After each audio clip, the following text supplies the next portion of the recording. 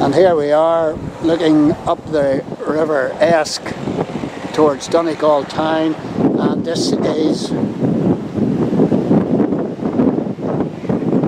R.U. MacDonald 1427 to 1505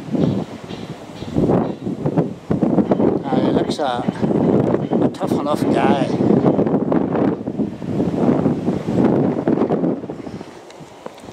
and it says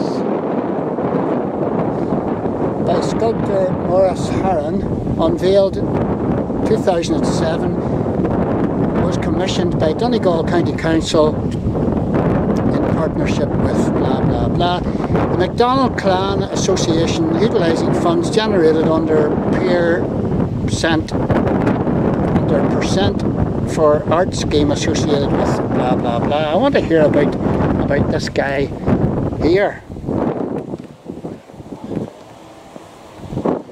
I wanted to, I wanted to hear, was there anything about him? And it's all in Irish, and I can't read Irish, unfortunately. That's a bit of a pain. To put it in English, to give a translation. But anyway, grump, grump, grump. Stupid me. There's a better Donegal flag picture here. I tried to video it at the hotel and it was useless. The flag wasn't flying. So here's Donegal's flag.